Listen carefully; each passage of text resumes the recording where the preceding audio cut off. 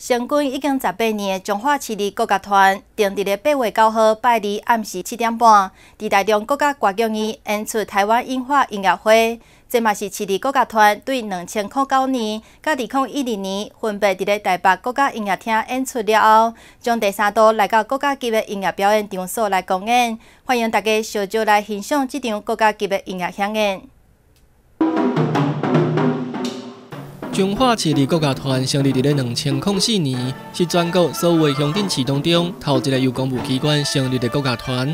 伫咧八月九号暗时七点半，中华市立国家团将伫咧台中国家歌剧院演出台湾音乐音乐会。这嘛是市立国家团伫两千零九年甲二零二一年分别到台北国家音乐厅演出了后，将第三届到国家级的音乐表演场所来公演。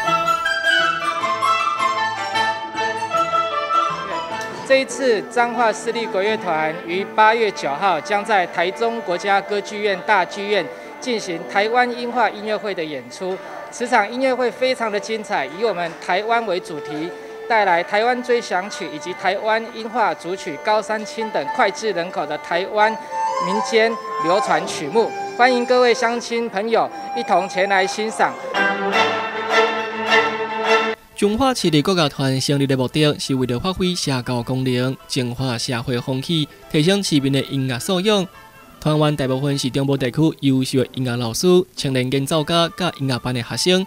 透过乐团会当增加团员上台表演的经验。你今年几岁？呃，十八岁。学音乐学多久了？呃，也快十年了。十年。那怎么会去想要学音乐？呃，因为国小有国乐团，然后就想说可以加入看看，然后就学笛子。为什么会想参加彰化市立国乐团？呃，想说就是可以参加乐团，然后可以就是磨练自己的经验这样。市立国乐团创团到今嘛已经迈入第十八年，期间经历过大大小小演出，透过经验的累积，甲技巧的进步成长。已经是一支实力非常坚强的专业性国家团体，伫咧阶段建立真好的名声。新中华新闻北北林中华采访报道。